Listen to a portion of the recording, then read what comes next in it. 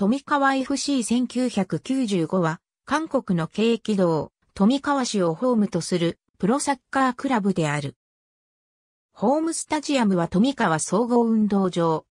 以前、富川市をホームとするクラブとして、富川油港が存在していたが、2006年にチェジュ特別自治道に移転し、チェジュユナイテッド FC となった。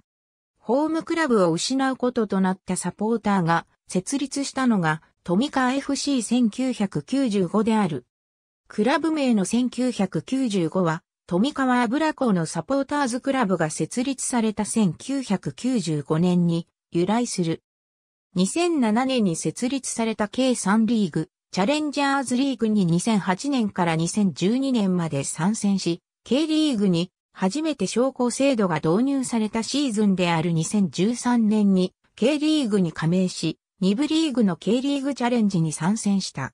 現在まで K リーグ1への昇格経験はない。